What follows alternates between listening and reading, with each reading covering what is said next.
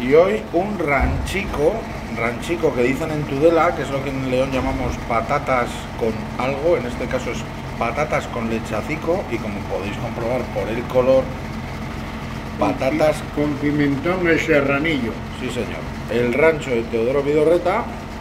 Con ternasco de, de Navarra y pimentón de León del Serranillo. Sí, señor. Ahí está.